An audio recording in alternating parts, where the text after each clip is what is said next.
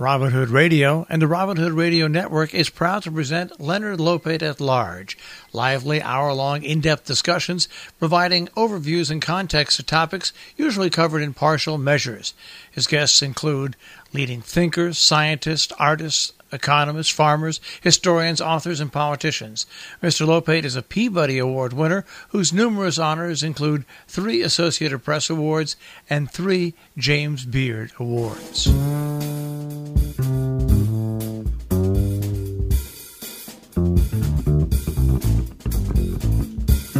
Welcome to Leonard Lopate at Large. I'm Leonard Lopate.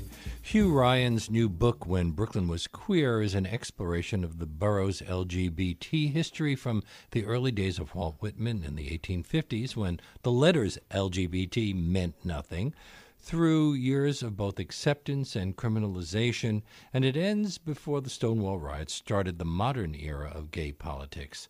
The story includes a wide range of people and places poets, sailors, undercover cops dressed as sailors, brothels, communes, Nazi spies, and trans men and women. It's published by St. Martin's Press and brings Hugh Ryan to our show. Welcome. Thank you for having me, Leonard. Before we begin, uh, maybe we should uh, decide what words we want to use. Gay is the, the, the, current word, but uh, you use queer in your title. Do you see them as interchangeable? I don't exactly. And I, I talk about this a little bit in the book. I used queer because I didn't want to call up any specific, you know, we have an image of what a gay person is or what a lesbian is or what a trans person is. Queer is a little less definitive. And particularly when you go back historically, the further back you go, the less those things that we see resemble actually how we ourselves identify today. So I thought queer was a good way to kind of indicate what we were looking at, but not prejudice people. But it also was the operative word at the time that you're covering uh, in this book. In parts Although of it, one yeah. of one of the people you write about, Loop the Loop, preferred fairy. Yes, yes. that, Loop that was, was a, prever- That's a pejorative. It is a pejorative among some people, but you know, I think she had reclaimed it, and I think many people back then had also reclaimed it. I have a one narrator who actually says in some letters that he writes in like the 40s, he says, "Oh, what is this thing, homosexual? Can't we just go back to being queers?" Didn't this book grow out of an earlier project of yours, the Pop Up Museum of Queer History? That It was did. 2010. Yes. So what happened? A, a pop up museum? Well, this was, you know, the heart of the financial crisis, and there was tons of space around New York City that was empty and free. And I had this idea that we could do exhibits, community sourced, people creating their own ideas of what it would be to do queer history in a museum, because I hadn't seen that. You know, there had been the Hide Seek exhibit at the Smithsonian, there'd been protests over it, and I thought, well, what would it look like if queer people had their own museum with their own exhibits, their own content? And we created a whole bunch of different ones, and we tried to do one about Brooklyn and discovered nobody knew anything about Brooklyn's queer history. But you began it in your Bushwick loft Mm-hmm. uh, in response to the Smithsonian's decision to remove David Wojnarowicz's uh, "A Fire in My Belly" from display. That's a, yeah, that became quite controversial, and it was uh, a major part of the show that the Museum of Modern Art had. Was It it, the. Museum of Modern or the Whitney had recently? Uh, yes, the Whitney just had the retrospective Yeah. on Wojnarowicz, which is incredible, and I'm a huge fan. And I was really upset when they pulled that piece. And then I realized that I couldn't go see queer art in any major museum in New York City. And I thought, why am I wasting all this time protesting the Smithsonian over this removal of one piece? Why don't I just create what I want to see? But then the, the police shut down yours. They did. Uh, we had about 300 people show up in my loft, which was well beyond fire code. and around midnight, I think something like 14 plainclothes cops showed up and shut down the entire party. So you were doing uh, the the general history, and then you decide to do Brooklyn. You say that uh, you uh, and your associates put out a call for information, but got little reply. Were people unaware of what turns out to have been this rich history? Absolutely. I mean, most people had a little bit of knowledge. You know, maybe they knew who Walt Whitman was. Maybe they knew that uh, the lesbian herstory archives were in Park Slope, or that the bar, the Starlight Lounge, had been an important area for gay black community in um, Crown Heights. But aside from that, particularly when you went further back, they really didn't know anything. And there were no books on it. None. I went. I actually went to the library thinking, well, I'll go get the book. You know, I thought, well, probably it was published in you know the early '80s by Alyson or a small gay press, and I would find it, and just nothing, nothing. For as long as I can remember, if you asked most people to name a gay community in New York City, uh, wouldn't they have cited Manhattan neighborhoods like Greenwich Village and Harlem? Yep. Greenwich Village, Harlem, uh, maybe, you know, Chelsea, maybe the Lower East Side, but that was about it. And you say there's been a systematic erasure of Brooklyn's queer history, what you call a great forgetting. Mm-hmm. And erasure by whom? Well, everyone. I mean, one of my favorite examples of this is that there was a bar in Brooklyn, in Brooklyn Heights, uh, that was called the Heights Supper Club. And in the mid 50s, it was a gay bar, and it had one of those systems where there were lights that came on if they were going to be raided to tell people to stop dancing together. And in, I think, 1962, it gets raided and shut down forever by the State Liquor Authority. And the New York Times actually uses this moment to write this big article about neighborhoods that have high concentrations of homosexuals in New York City. And even though the article is prompted by a raid on a bar in Brooklyn, they only talk about places in Manhattan. And that's it. And the Brooklyn Heights Press actually writes a very short article in response saying, you know, whether you like them or you hate them, no one can deny that homosexuals have a huge history here in the Heights. But nobody at the Times listens. And after that point, even the Brooklyn Heights Press doesn't write about the gay community anymore. But you received a, a grant to research the subject from the Martin Duberman Fellowship. Um, in LGBT studies. There's such a thing at the New York Public Library. Oh yes, and they have some of the greatest resources in the world. I mean, without them, this book wouldn't exist because I wouldn't have access to the history, and because that grant really helped me put it together. You said that a recurring theme you found in your research was how Brooklyn's rise in popularity as a place to live mirrored the rise in interest in sex and gender studies, and also the rise in homophobia, bigotry, and abuse. Well, it's interesting, right? So New York City, Brooklyn, becomes a city in the the mid 1800s. You know, after we get the opening of the Erie Canal, which transforms trade in America, that's when Brooklyn really urbanizes. 1855, I kind of put a pin there for Walt Whitman publishing Leaves of Grass. That's where I start my story. But after that is where we start to see this real development all around the country and around the world in this idea of sexuality. People start discussing and naming things. And that happens at the same time that people start discussing Brooklyn. So they track with one another. But although you say that there were no histories of uh, gay life in Brooklyn, uh, there's been a lot written about any number of famous Brooklyn based gay and bisexual writers Walt Whitman, Hart Crane, Truman Capote, Carson McCullers, um, a bunch of others as well. Mm-hmm. So um, you, you just had to pick and choose. You had to uh, read a book about uh, a certain house in downtown in Brooklyn Heights to to figure out what was going on? Well, that's definitely part of it. You know, those published uh, books by really famous people helped me a lot because they gave me an in to what was happening. But they're only a very small slice of the actual story. And even in those published books, you know, I'd read books about Walt Whitman that would never mention that he was gay. But Walt Whitman was was open about it. He was uh, out gay, and he kept a ledger of his waterfront encounters that goes on for over 15 pages. Yes. You give an example. David Wilson, night of October 11, 62, walking up from Middagh, slept with me, works in a blacksmith shop in Navy Yard. Yeah, uh, the lists are incredible. he also wrote poems about his, his gay encounters. Oh, tons of them. The calamus poems are kind of the most erotic of all of his poems. And, and the calamus is a flower that's very phallically shaped, uh, which is probably why he chose it. But it's also an allusion to a Greek myth of two lovers, Calamus and Carpus.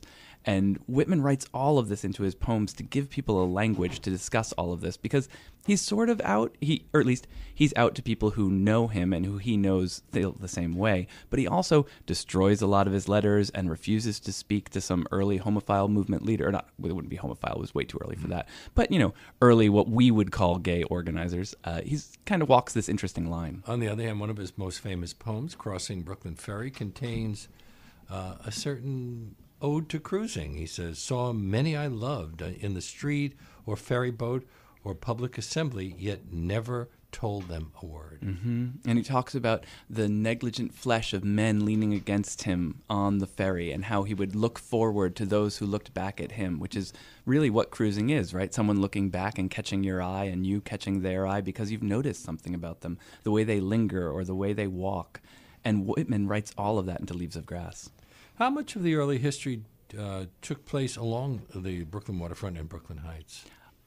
In The waterfront, most of it. The, the waterfront really provides this economic engine. It's the first parts that really of Brooklyn that get really dense and really city-like, and they have jobs that allow queer people to move away from their families, move away from their homes, create private lives, and be able to live in what we would now say are you know gay lives and also to leave records of it and so that happens all along the waterfront particularly in places where you have these working class bachelor communities of the irish or the italians who are coming here in great numbers but usually really gender imbalanced numbers. So you got lots of men working together without any place to date women. And when did the brooklyn navy yard come along? The brooklyn navy yard is um, quite quite old. Uh, it's the early 1800s, I believe, when it's founded. So when the fleets came, the fleet came in, uh, there was an influx of sailors. Oh yeah, from you know 1855 and Walt Whitman all the way up. You know, in the 1930s, you get these celebrities who would come to Sand Street in their you know chauffeured limousines to get dropped off at the bars where sailors would dance with queers, Tony's Square Bar and the Cabaret and that was just this incredible attraction. It, in fact, drew people from Manhattan. People would come to Brooklyn to have these kinds of queer experiences in the way that today we might go to Chelsea or to the West Village. You write that a number of Brooklyn landmarks of gay life were destroyed during Robert Moses's construction of the BQE. Uh, that was in the early 60s. So, what happened? Well, the BQE, so in general, Robert Moses wanted to suburbanize the city, right? He wanted to make it accessible to people, rich people in cars who were living out in the suburbs. And to do that, he needed to create highways that would get them from Long Island into Manhattan. And so he constructed all of these expressways. If you look at a map of Brooklyn today, you'll see this ring of roads that cuts the entire waterfront off from the rest of Brooklyn. And those were communities at one point, and he shot highways right through them. And that really decimated. You know, the waterfront was already by that point in the 60s going through this downturn. The St. Lawrence Seaway had opened up, so shipping through New York was not that important anymore. And these economically fragile areas then were torn apart by these expressways that were thrown through them and by other changes that he did. You know, he's also in charge of slum clearance and public housing, and he used those powers to kind of decimate poor communities, and queer people tended to be poor. So they started cruising on the, promenade. Yes, when the BQE was, the was, built, the promenade became almost overnight, according to everything I've read, a real cruising ground because there already was such a big gay male population in Brooklyn Heights, and now there was a new space for them. And what was the reaction of people in the neighborhood who saw this as a place for their families to walk? You know, a lot of them were very supportive. Again, the Brooklyn Heights Press has all of these letters. Some people wrote in to complain, and you know, they called them the the princes of the promenade, and how they would hit on them and, and you know freak them out. And people actually wrote back and said, you know what, like they've been here for a really long time, and they're good neighbors, and we like the homosexuals in Brooklyn Heights. One uh, married man described them as cultured, quiet, and amiable a credit to our community. what I think is amazing about that letter is that guy actually signed his name. In fact, all of the people who were supportive of the queer community in the Heights signed their names to those letters to the Brooklyn Heights Press, whereas a lot of the people who were criticizing the queer community refused to sign their names. You note that uh, the start of the construction of the Brooklyn Bridge in 1869 occurred in the same year that uh, a journalist named Carl Maria Kurt Benny, was it? First used the terms homosexual and heterosexual. Were they being used in the same way as they are today? Yes, he was starting to define them really in the same way we would use them today in Germany, uh, though they do take on, you know, heterosexuality was a, a sort of a, a, morbid somatic state of like overwhelming heterosexuality. It wasn't just what we talk about today in terms of sexuality, but it was the same concept. Didn't some of the, the best sources of information for your research come from uh, some people who hated the LGBT community? Oh, yes. I mean, a lot of what you have to do when you're researching queer history is sort of what we say is work against the archive. So you've got this uh, record of police arrests that maybe will tell you, oh, hey, all these arrests are happening in one neighborhood. Maybe that's a queer neighborhood. Maybe I should go look closer there. Or all of these doctors who write these incredibly homophobic and transphobic screeds against the people they're researching but they also collected information from them, right? So you've got to balance these two things together and take everything with a bit of a grain of salt. And one of the uh, groups was called the Committee of 14. and they uh, w- weren't just uh, opposed to homosexuals in the community, they also uh, were, well, they were fighting pro- for prohibition yep. and against straight prostitutes, and then they discovered that there was a homosexual community and went after them as well. Uh, you say that although you considered them crazy, we wouldn't know some of the history without the records they kept. Oh, absolutely. I mean, they were obsessed with record keeping. They would send informants into bars all over the city to find out what was happening, and they would have these informants write up these long sets of notes. Their original thought was that they would um, end drinking among working class people by banning the sale of alcohol on Sundays, except in hotels. And so every bar basically cut up their back room and declared themselves a hotel so they could get around this rule because a large hotel was allowed to serve alcohol under the idea that rich people went to large hotels to get alcohol on Sundays. And so once they did this, once they cut up all of these little rooms into hotel rooms, suddenly there were all these private spaces where men and women could meet, men and men could meet. It was a little harder for women and women to meet just because they were women were not often allowed into these bars unless they were escorted by men. But that was where the Committee of 14 started off. They were like, we're going to shut down those quote unquote hotels that are really just bars. And as they started to raid those places, they discovered all kinds of immorality in them, not just the heterosexual prostitution and the drinking they were going after, but also homosexuality, which they kept close track on all throughout the 19 teens and 1920s, really up until the end of Prohibition. I'm speaking with Hugh Ryan about his book When Brooklyn Was Queer, published by St. Martin's Press. This is Leonard Lopate at Large on WBAI, New York 99.5 FM. Is most of the history from that time about, uh, when we're talking about Brooklyn gay life, about white men? It depends on what time you're talking about, but yes. I mean, the big thing that was a surprise to me in doing this research at the very beginning was to discover how white Brooklyn really was historically. That for large portions of time between the end of slavery in New York in the early 1800s and basically the 1940s, Brooklyn was always around 97, 98, 99% white. And that was shocking to me because that's obviously not the Brooklyn of today. And in general, white people and white men had more access to money, more access to culture, more access to things that would preserve their legacies. And so their histories just get preserved even better. So we have, first off, more of them, and then their histories get preserved more. And then we think to look at their histories for queer history more. And so it kind of plays upon itself at every level. I would think also people of color were seen as negligible at this time, and lesbians were kind of invisible.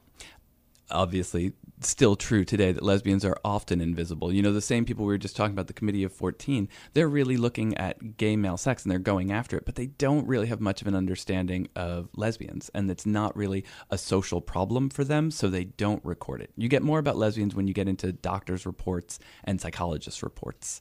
Uh, and the Committee of 14, they knew that people of color were having queer sex and, um, you know, being part of the prostitution networks that existed.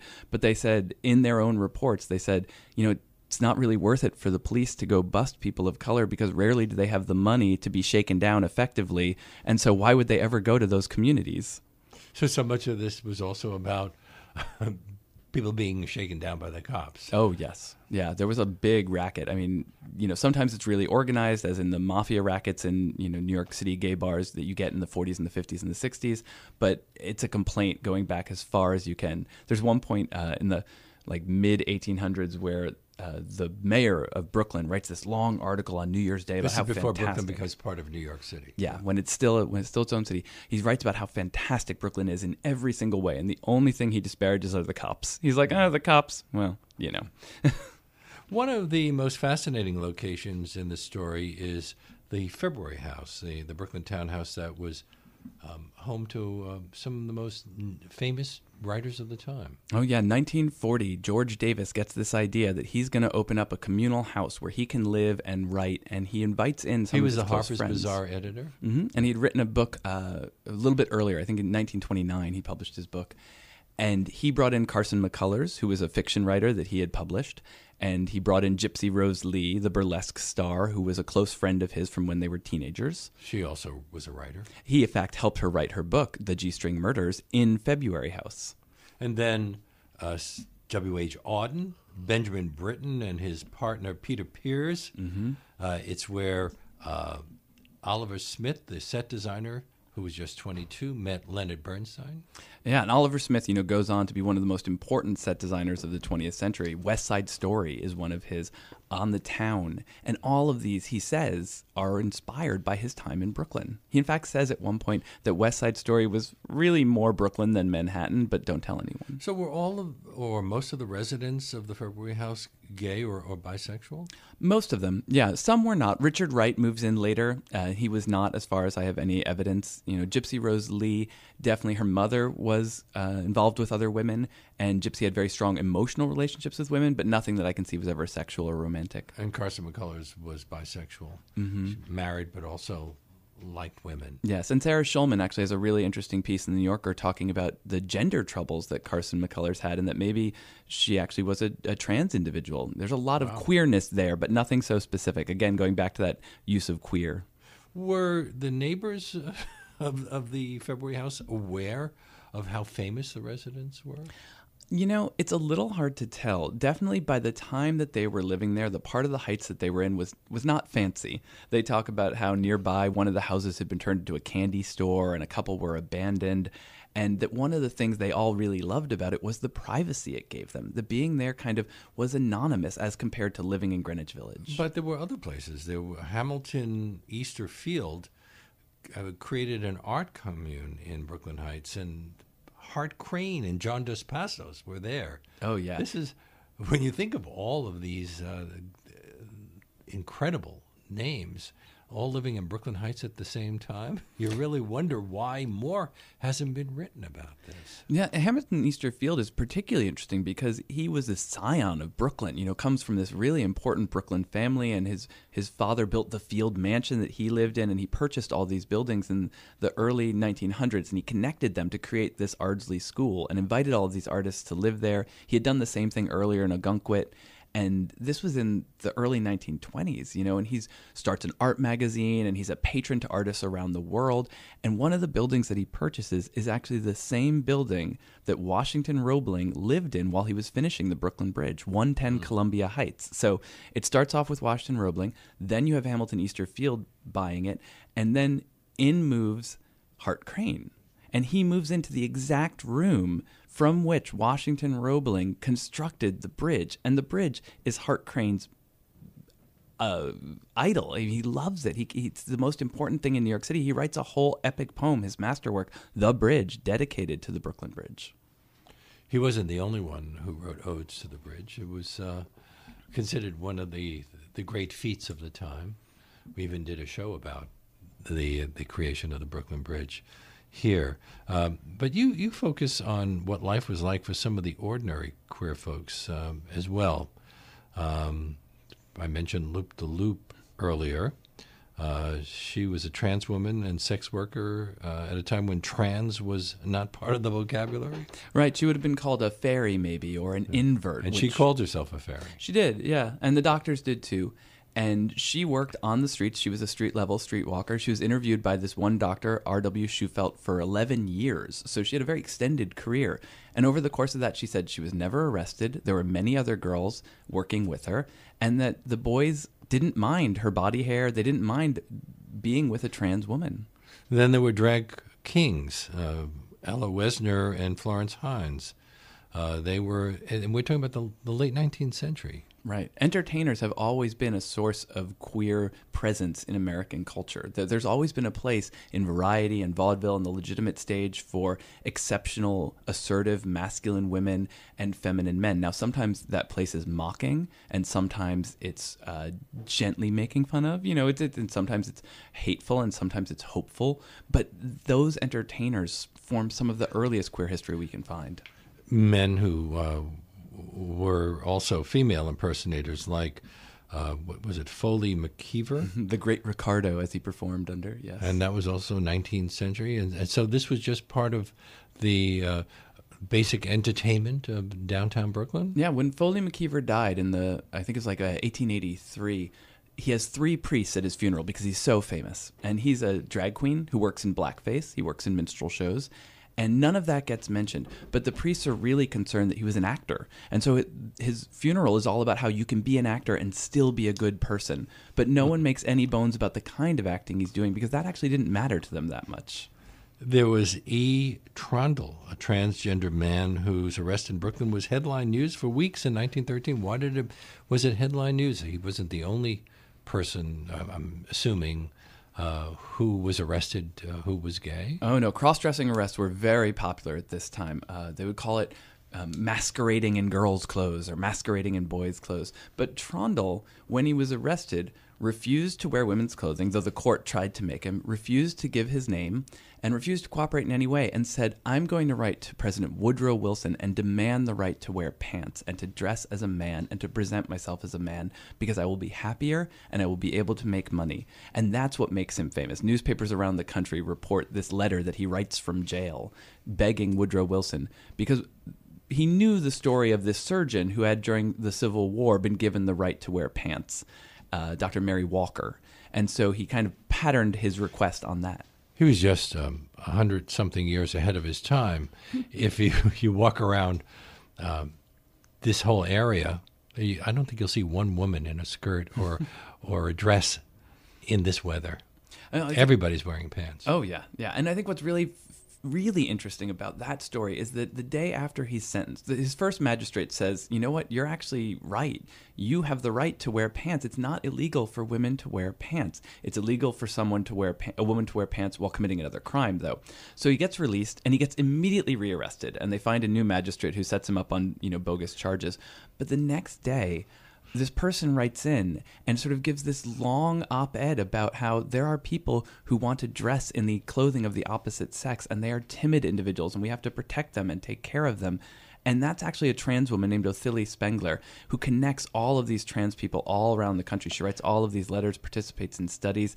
And I thought it was fascinating to see her coming to the defense of this other trans person publicly in the newspapers in 1913. And where did you find this material? Did you have to pour through newspapers looking for anything that suddenly uh, you said, well, this may be for me? Yeah, you know, you, I started a whole long list of verbiage that I would look for. Uh, mannish is an obvious mm-hmm. one. You know, effeminate is another one. Masquerading is a big one that would come up a lot. And then weird terms like DC 8 which used to refer to a gay man. Uh, and it was actually police code. DC was for disorderly conduct, and 8 was for the subsection of disorderly conduct that outlawed soliciting another man for lewdness. Then there was Mabel Hampton, a black lesbian who worked as a dancer in Coney Island in the 20s. Was she famous at the time? She was not famous at the time, though she did get later involved uh, in a major way in the Harlem Renaissance, and she performed at places like the uh, Garden of Joy and 1920, when she was at Coney Island, she danced in the sideshow. And she first learned the word lesbian there from another woman. Uh, and she had this incredible life that was made possible in part by the subway itself, which in 1920 had recently become just as cheap to go to Coney Island as it had anywhere else. I was uh, really interested in Josiah Marvel, who was a curator at the Brooklyn Museum. Joe Marvel was not only a curator at the Brooklyn Museum, he was a conscientious objector during World War II. He was a real Quaker. He had this strong sense of belief. And he organized all throughout the war to help conscientious objectors, war wives, orphans, uh, all these people who were sort of part of the war or affected by the war but weren't soldiers. He is actually the only person who was able to get into some of the Nazi controlled prisons in France. And after the war, he realized that there was one group of men returning from the war that no one was helping. And those were men who had been discharged from the army because of their sexuality. And he actually took the organization that he'd founded, the Quaker Emergency Services, and he turned the whole thing to helping these men and working with the court systems and providing an alternative to detention program. So if you were arrested for soliciting and you would instead be sent to his program instead of jail. One of the, the fascinating aspects of this story is how accepted the queer community was in Brooklyn at certain periods and by certain people, and then at other times uh, has real problems. Uh, we will um, continue this conversation in just a moment. This is Leonard Lopate at Large. We're back to, with Hugh Ryan, his book, When Brooklyn Was Queer, which is uh, published by, well, this is published by a major publisher, St. Martin's Press. Uh, normally, these books wind up in some kind of small press. Yeah, we really lucked out. I have to say, St. Martin's Press took a chance on me. Uh, every other editor we sent it to rejected the proposal. They were the only ones who were interested, and they have supported this book in an incredible way. During Prohibition, gay and straight bars merged. I didn't know that. It was assumed by the people I grew up with, also in Williamsburg, that there was a fair amount of same sex activity in the Brooklyn Navy Yard where there were a lot of bars.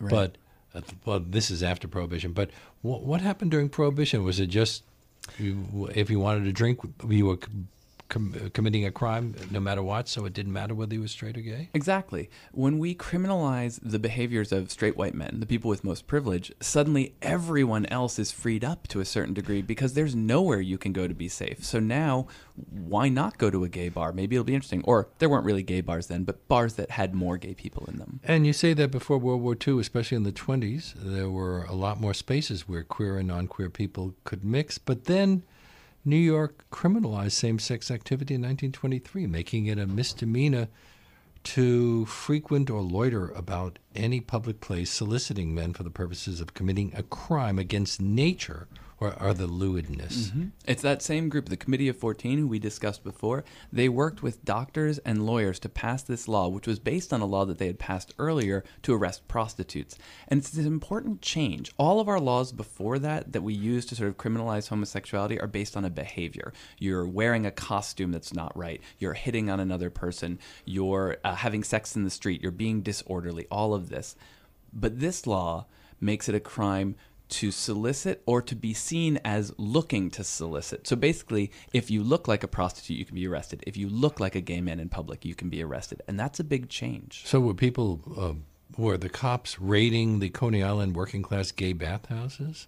Because No. because by the 1920s, you point out, the Nickel Empire started attracting large crowds of gay men to its bathhouses. And in 1929, Washington Baths held a male beauty contest, Oh, which Variety covered. hilarious story. I mean, they had no idea what they were getting into, right? They thought they were going to hold this contest and that it would be full of women from Coney Island looking at beautiful men. And instead, as they started, they realized the entire audience basically was men. And that as the men signed up, and over 40 men signed up to participate, they were all doing it in makeup, in full drag. These were decidedly gay men who knew that they were in a gay space. They were willing to be public about it, right? That's the really fascinating thing. So they felt safe enough to come in huge numbers, and the crowd really was excited by it. It was only the folks coming from Manhattan, the variety organizers, who were really freaked out by this gay presence. Variety reported that the hardest part of judging the competition was picking a male butte who wasn't a floozy. and then uh, the uh, uh, during the 40s, Coney Island was known as, uh, at least parts of it were known as Muscle Beach. Right. So after World War II, the 40s and into the 50s, you get all these physique pictorial magazines, right? These are communities that are kind of on the skids at this point, and for the young men who hang out there, mostly Italian and Irish and eventually Puerto Rican, modeling was a way to make money and a way to kind of get out of that community. And so they were really willing to model for all of these different men with cameras, some of whom were gay. So if uh, a young a gay man wanted to meet other men, he would kind of know where to go. It depends. Uh, some of them did, some of them didn't. You heard through the grapevine. You might not even know or think of yourself as gay, and you might not hear about a place that was necessarily gay, but you sort of found other people like you. And there were certain areas, you know, any place where lots of men end up naked together, it's going to end up being gay. So, subway bathrooms and bathhouses at Coney Island, those are really obvious places to go. But also uh, Prospect Park, the, the Vale of Cashmere, which is quite popular these days. It became a cruising ground in the 1940s. Yep. Uh, after World War II, again, that's when you see this crackdown that starts around the Navy Yard. In the Army, you get this homophobia that was not there before. And so it has to move away from Sand Street, it has to move away from the Navy Yard itself. And you start finding all of these gay men cruising in Prospect Park, in the part that's closest to the Navy Yard. Mm-hmm. And then uh, you have, uh, uh, in an October 1945 letter to the mayor, a precinct commanding officer warned of the growing menace of sex degenerates in Prospect Park, Brooklyn. All right, then you know, 1945 through the Stonewall riots, 1969 is the most homophobic time in American history, and you get all of these people who are being taught that you have to police yourself and each other for any presence of gay people, and you have to report on it. Was one of the, the reasons the end of Prohibition? The repeal of Prohibition? Yeah, the repeal of prohibition basically took these spaces that had, you know, as we talked about, been mixed because it's illegal to drink anywhere, so it doesn't matter if you're with queer people in the room. Prohibition ends, and suddenly it's illegal to be in a gay bar and it's legal to be in a straight bar. And so that's when you really get this division. You lose these mixed spaces and you start to get these hard and fast gay and straight bars. It was a time also when the concepts, the ideas of eugenics became really popular. Were they being used to explain this degenerate behavior? Yes, and it actually comes a lot from white supremacy, which I think we rarely think about white supremacy as the origin of trans and homophobia. But these eugenic doctors were really concerned about preserving the white race, and they saw black people as a threat to the white race from the outside, that they would intermarry and thereby cause the degeneration. But they saw queer people, and particularly people who were gender nonconforming in any way, as a threat from the inside. They would lead to sterility and insanity. And so you had to police the way straight people had sex in order to prevent them from having sex with people of the wrong race or giving birth to people of the wrong sexuality. And wasn't it also argued that homosexuals were dangerous to the health of the nation, easily blackmailed and not to be trusted? Oh yeah, Joseph McCarthy really pushes this in the 50s. You know, he's the Red Scare, but also the Lavender Scare, going after gays. But he perfects a playbook that's established in New York City by an organization called the Rapp-Coudert Committee in 1940, and they really go after communist professors all around the city, but particularly in Brooklyn College, a number of whom are gay and they find ways to criminalize their existence and to push them out of public uh, teaching, out of public jobs. That was when Brooklyn College was in downtown Brooklyn before it moved to Flatbush. Mm-hmm. Yeah, in the first uh, decade, basically, of its existence.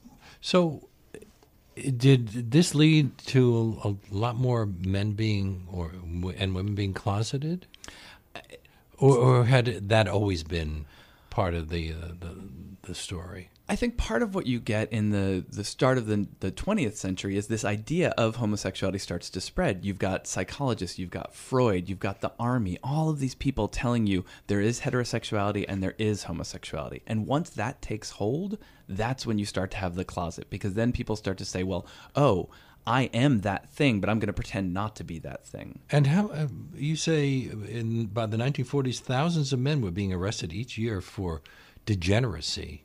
So, what was happening? They, was there a special jail? Uh, there actually were special wings in most jails for gay men, for effeminate gay men and mm-hmm. trans uh, women. Particularly here in Rikers, there was one.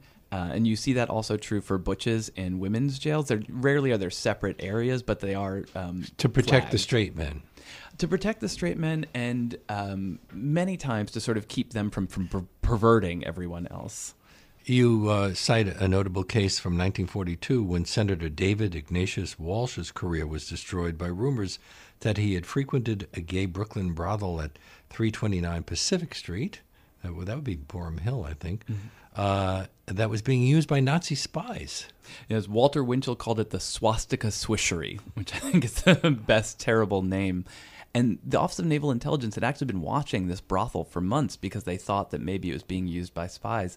And when they raided it, they caught the noted um, composer Virgil Thomson there, and a number of sex workers, and the man who owned the brothel. And they spent months trying to lean on this guy who owned the brothel to get him to identify this senator and to admit that there were financial backers and because they couldn't believe that you would make that much money off of a brothel for male prostitutes. It just didn't make sense to them right? And so they gin up this whole story. I mean it's it's it's all faked unfortunately in the end but it ruins many men's lives including the brothel's owner, Gustav Beekman, who um, was one of the people arrested. He cooperated with the authorities, and that didn't help. No, it, when he refused to name these non existent financial backers who the authorities were convinced were providing money, they sent him to a maximum security Sing Sing prison for 20 years. It was one of the reasons that uh, they went after uh, David Ignatius Walsh uh, that he was opposed to going to war? It wasn't one of the main reasons they went after I mean, him, but it you was say the one New York the, Post really focused on that. It was one of the things that made him vulnerable, right? It wasn't a major part of the scandal itself, but it already pre- predisposed people to dislike him, and so that made it easy for them to attack him. You uh, write uh, the legacy of all of this is when we get this turn towards homophobia, 1945 to Stonewall, or the early 80s, there is this really negative idea that gay life is sad, small, limited, dirty, painful, persecuted. And I think that we have internalized that. Anytime before Stonewall, that was what gay life was, when re- really it was just what gay life was like when gay life was becoming speakable in most of America and getting its history written. So, was uh, Brooklyn any different than the rest of the country? I mean, the whole country was different in many different ways. Brooklyn, obviously, as an urban space, as a place of all of this intermingling, I think had more queer history and more exposure to a lot of this stuff. But all throughout the world, in, in, well, all throughout America, from 45 on, you get this turn towards homophobia and this this negative idea of homosexuality that's really what I grew up inside. You know, growing up in the 80s, I was taught that as far back as you can go, gay life was the same as it is now, and that what it is is small and sad and dirty and unsafe, mentally ill, psychologically stunted. Right, but we didn't even have those terms like psychologically stunted before the 19 teens. So obviously it couldn't have always been that thing. But I was raised with this ahistoric idea that said, no, what gay life is in you know 1963 is what it has always been. Well, it was at at a certain point people were being sent into conversion therapy, uh, as though this is something that could be cured. Oh yes, and you know a lot of these people going back. Uh, Joe Marvel, who I, I love so much and did so much for so many men, started off thinking, looking for a way to cure homosexuality, and he actually comes to believe that if he can figure out what's wrong with gay adults and he can start working with children under the age of seven, he can prevent them from becoming gay. He doesn't think you can be cured, but he thinks you can be stopped. It's a Freudian idea. Mm-hmm. Yeah, a lot of this comes from Freud. I mean, I, I, I love many things that Freud did, and he, in some ways, enabled us to talk about sexuality as being separate from gender. But he also taught us a lot of ways that sexuality was um, dangerous and sad, and and um, yeah, he had a lot of negative views, not so much among himself, but in his followers. So during this time, there were gay bars. I remember. Um, I went to Pratt, and sometimes people would say, "Hey, you want to go to this gay bar?" Uh, because uh, that was part of the cultural scene of New York. But there was always the fear that there would be a police raid. Right. Right, and that's you know what what prohibition does, right? It leaves gay bars raidable because the state liquor authority says it's not legal. It's automatically a disorderly house if you're serving gay people.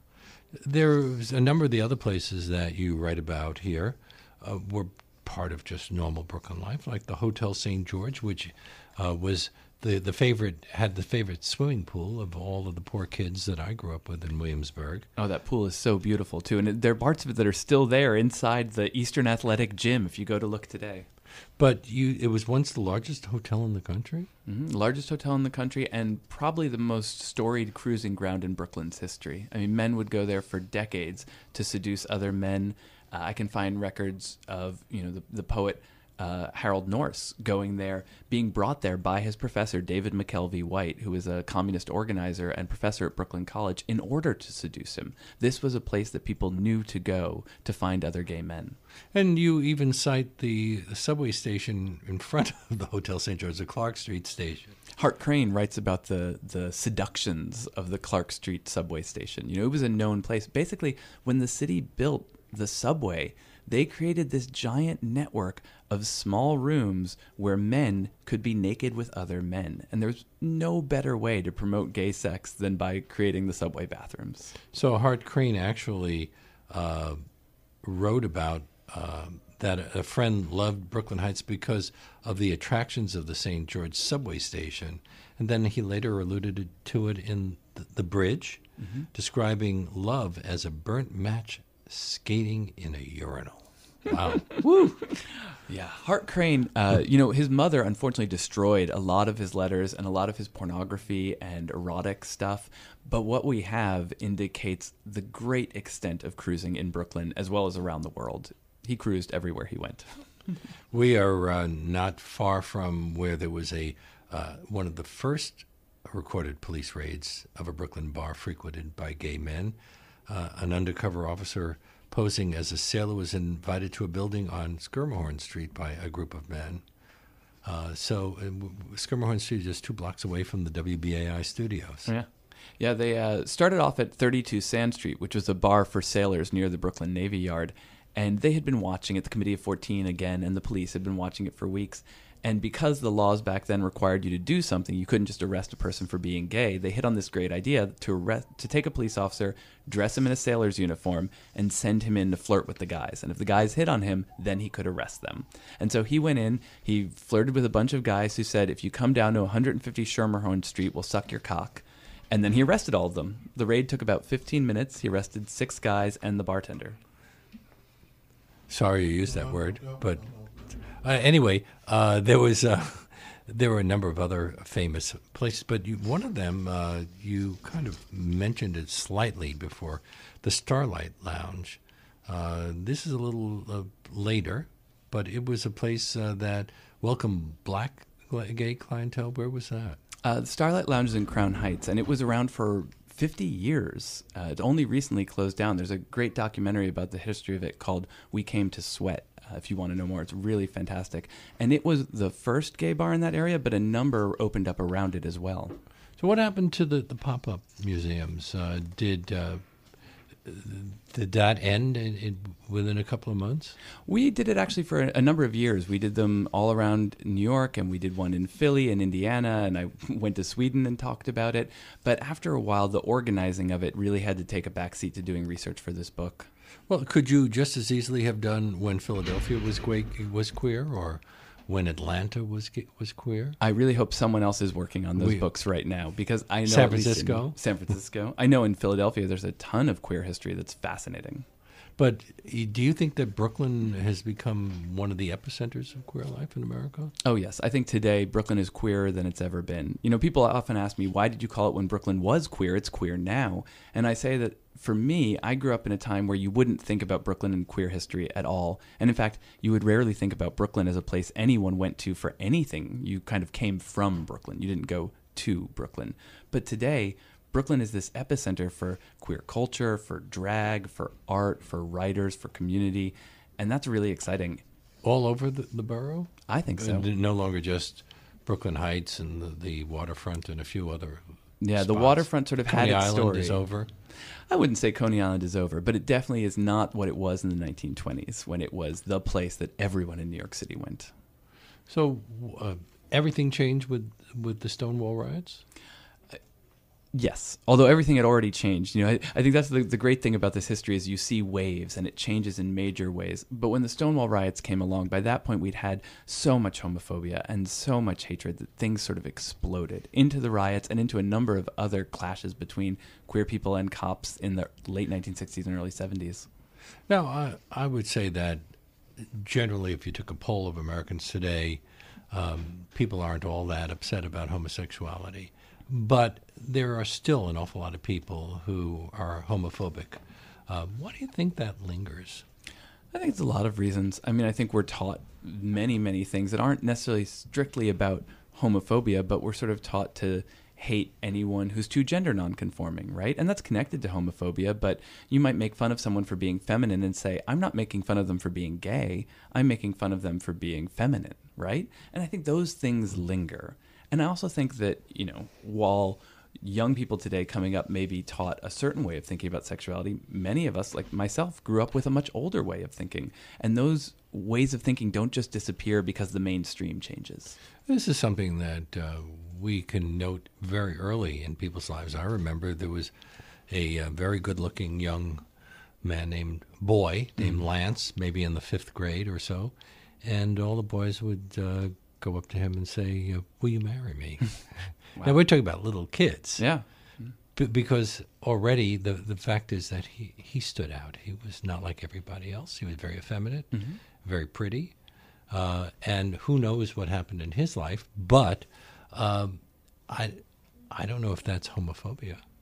I mean, I don't want to make a direct connection between being gender nonconforming and sexuality, but certainly the further you go back in history, the more that we see that it's it's gender nonconforming behaviors that we penalize and that we criminalize, and sometimes that gender nonconforming behavior is sexual, but sometimes it's just about how you walk or dress or talk. Well, on the other hand, we had people like Franklin Pangborn in our movies.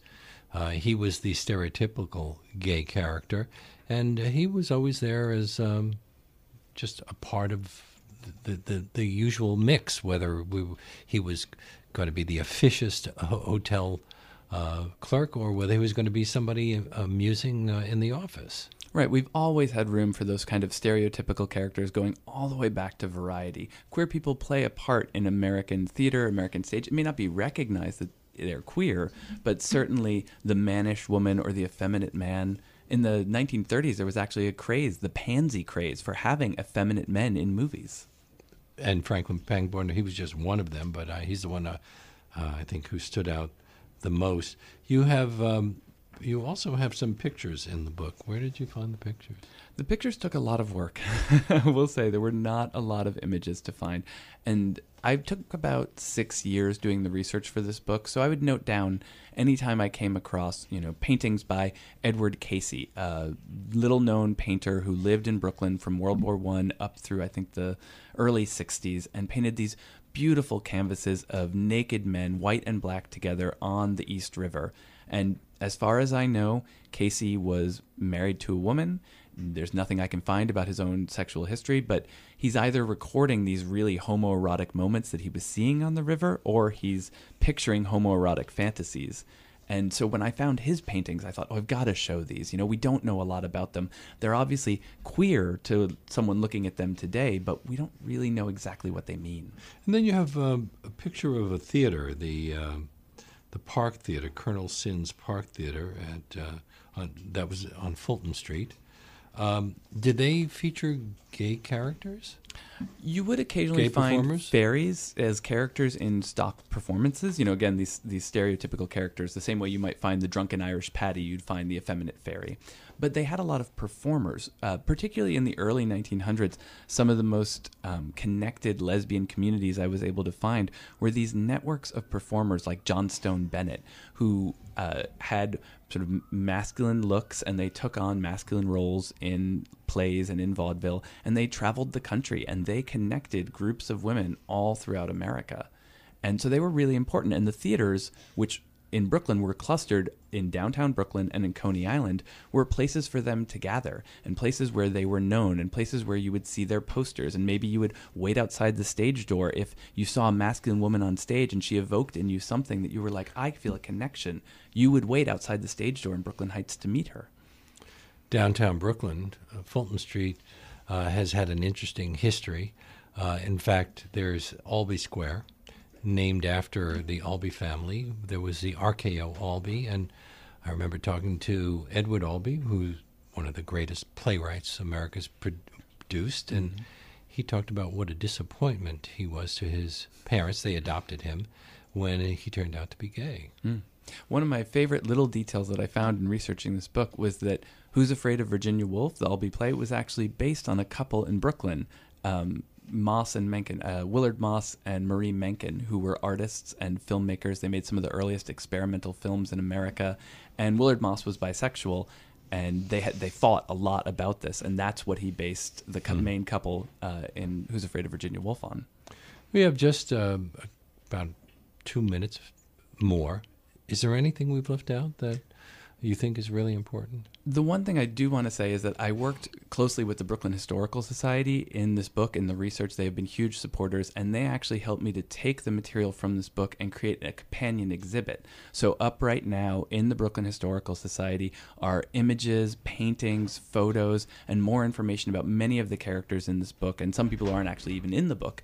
And you can go and check that out, and it'll be open through August 4th. So, for people who maybe don't want to sit down and read an entire book, this is a good way to get an intro to some of the subject. And it's also a great place. What I would really recommend and ask is to bring schools and to ask your school to buy this book because that's where I learned queer history first was through my school and through my school library. And that what school was doing that? Well, it wasn't necessarily a good kind of learning, but it was definitely a learning. Uh, I went to public high schools outside New York, up in Westchester, public elementary school, and we definitely learned about Walt Whitman, and many other people. And so it's important to me that this information be accessible to people that age. My guest has been Hugh Ryan. His book, When Brooklyn Was Queer, is published by St. Martin's Press, and uh, it's sad that some people don't want to read books, but uh, I suspect a lot of people will find this really fascinating history. Thank you so much. Thank you for having me. This is wonderful. And that brings us to the end of today's show. My great thanks to Hugh Ryan, to Charlie Morrow, who composed our theme music, to Reggie Johnson, who was at the audio controls, and to my executive producer, Jesse Lent. Lopate at Large comes to you on Saturdays at 4 and Tuesdays at noon. You can subscribe to It Lopate at Large podcast on iTunes and by clicking on Robin Hood Radio's archive program site, which is robinhoodradio.com. You can also check out It Lopate at Large Facebook page. We hope to see you next week.